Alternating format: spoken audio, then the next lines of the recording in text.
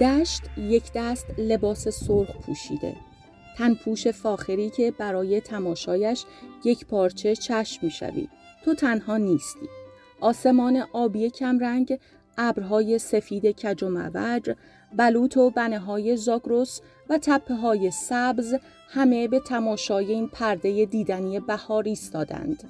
بهار عمر این لاله های واژگون کوتاهتر از آن است که دست از تماشایش برداری اگر دست قارتگر انسان امانش دهد. لاله ها را اینطور دست دسته میچینند برای فروش قافل از اینکه قبل از رسیدن به گرمی بازار سرد و پژمرده می‌شوند و میمیرند یا که حیوانات اهلی را راهی این دشت لاله می‌کنند وقت اگر با این لاله ها یار باشد دام ها فقط گلشان را می‌خورند و الا اگر پیاز گل را بکنند راهی برای برگشت نیست و این یعنی آخرین قطره برای این اشک های مریم. گونه لاله واژگون که یه اسم دیگهش اشک مریم هست. یک گونه ای هست از تیره لاله یا لیلیاسه. به نام فریتیلاریا ایمپریالیس. ایمپریالیس یعنی امپراتور.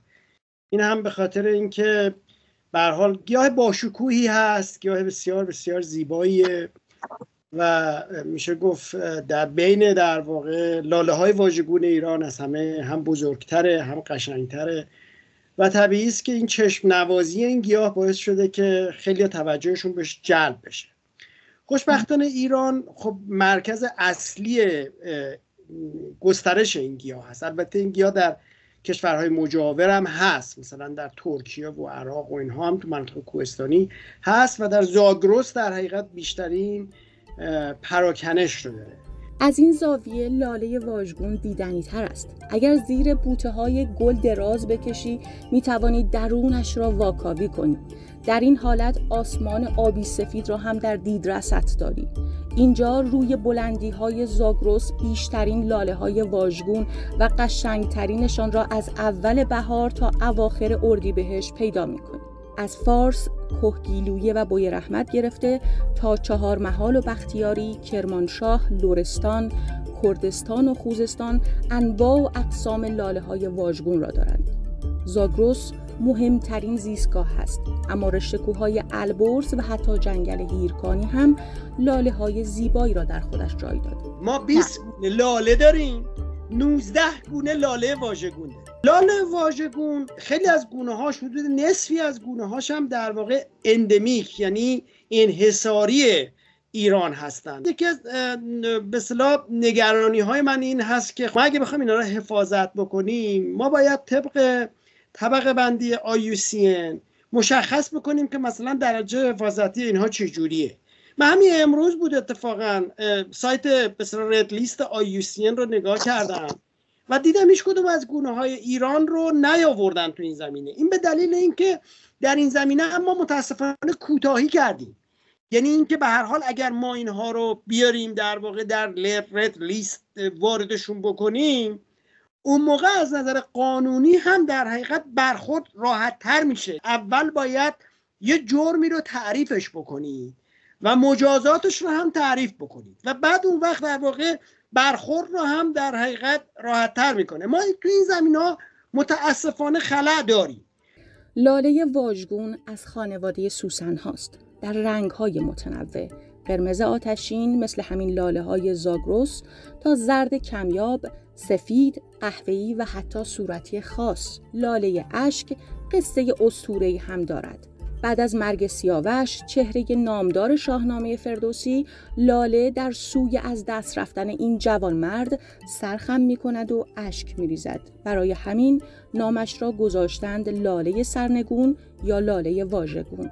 حواستان باشد این فقط یک افسانه است آنچه واقعیت دارد نابودی این لاله های زیبا به دست انسان است گرچه لاله ها تنها قربانی این ماجرا نیستند ما فقط با گیاه لاله واژگون مواجه نیستیم. ما الان در فصل بهار همین اطراف شهر تهران عده زیادی میرن تو کوه و انواع گیاهان پیازی رو جمع می‌کنن و اینها رو میارن در بازارهای به اصطلاح محلی اینها رو میفروشن. مثلا مثل والک هست انواع سیرهای وحشی هست. ما باید حالا توجهمون جلب بشه به بقیه گونه های پیازی این کشور که به خصوص در البرز و هم در زاگرس فرق نمی‌کنه. من در هر دو جا دیدم به شکل غیر بیرحمانه در واقع به جون اینا افتادن و خیلی از گونه های در معرض انقراض رو دارن از بین می‌برن. و جالب اینه که خیلی از اینها endemic هستن. یعنی انحصاری فلور ایران هستن. الان تو خود همین شمال تهران ما چندین گونه رو داشتیم که الان که من سالها دارم اینجا رو به حال مونیتورینگ می‌کنم دیگه اصلا پیدا نمیشن به دلیل اینکه اینها ریشه‌کن شدن. و خیلی از گیاهان مثلا چتریان هست مثلا کنگر هست. کنگر باز یکی از نمونه هاییه که در خیلی از جاها اینا رو میان برداشت می‌کنن. ریواس هست.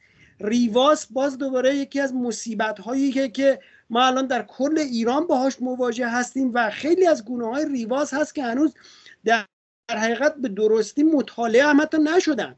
و بعد اون وقت اینها رو میان از بین می‌برن. خیلی از گل های زینتی دیگه هست که اینها رو جمع آوری می‌کنن. مثلا فرض این سیریش ها هستن. سیریش ها گل های فوق العاده زیبایی دارن. بعد اینها رو میان جمع آوری می‌کنن. یا مثلا در بخشی از مثلا منطقه عراق جوقاسم هست که یک نوع زعفران هست. اونجا میان اینا رو جمع آوری می‌کنن. دوستان عزیز بارها اعلام کردیم. گیان دارویی برداشت نکنید ولی اگه برداشت هم می‌کنید اصولی. ببین دوستان چند تا کیسه از این سبزی کویی چیدن همه با پیازچه در آوردن این یعنی انقراض زاکروس. یعنی علاوه بر این که پیازچه اینا را در آوردن شما این وسط این که ما به زبون محلی بهش میگیم نروک باعث میشه که برز بیریزه و باعث تکثیر این بوته بشه و این سبزی های کویی بشه اینا را هم کندن. یه محبت کنید. اول که نچینید نسلا همه در حال انقراض. دیگه داره نابود میشه. حداقل میچینید یه دونه برگ اینو بیچینید. اینو بذارید بمونه تا برزش بیریزه تکثیر بشه. رشته کوه زاکروس 45 درصد آب شرب این کشور رو تامین می‌کنه. نابود شدن زاکروس مساوی با نابود شدن ایران. به راحتی میان اینها رو ریشه کم می‌کنن و متاسفانه منابع طبیعی که قانونا موظف هست جلو اینها رو بگیره کاری نمی‌کنه. شبیه مافیا میمونن. یه ده هستن میرن در کوههای البرز اینها رو می‌خرن و از مردم از مردم می‌خرن و من اون افراد رو حتی تونستم شناساییشون بکنم و برای اون شماره مخصوصی که منابع طبیعی اعلام کرده زنگ زدم گفتم من فیلم این آدم ها رو گرفتم مشخصات این آدم ها رو گرفتم. متاسفانه هیچ اقدامی در این زمینه صورت نگرفت. اینه که من حقیقتش به شما بگم منابع طبیعی مملکت وله. ما یک اون چیزی که در منابع طبیعی تو این سالها تجربه من نشون داده افتادن دنبال یه سری مسائلی مثل آبخیزداری سازه‌ای که هر روز برن بند بسازن.